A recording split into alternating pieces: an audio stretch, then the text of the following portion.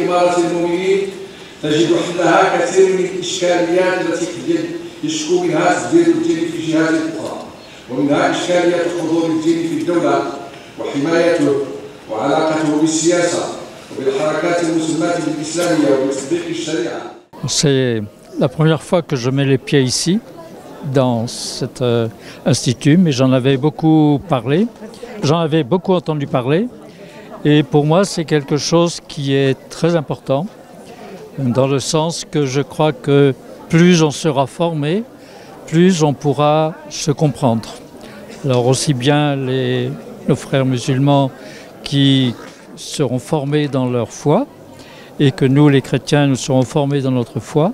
nous pourrons arriver à parler ensemble, à nous comprendre, à nous écouter. إعداد وتكوين الأئمة والمرشدين والمرشدات. مهم جدا لأنه كيعطي واحد الإشعاع ديال المغرب في الدول الإفريقية في بعض الدول الأوروبية في تكوين الأئمة آه، وفق مبادئ الإسلام الحنيفه وكيكون أئمة اللي يمكن لهم يرفعوا المستوى الروح- الروحي والفكري والديني آه، داخل المجتمع المغربي وفي الشعوب الأخرى.